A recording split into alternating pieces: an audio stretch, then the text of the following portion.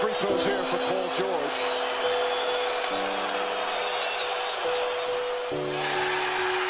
And that's critical.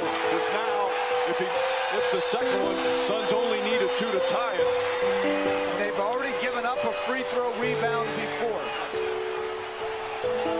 You can't assume Beverley's pursuit has to be accounted for. George, who's hit some big buckets down the stretch. Thank you.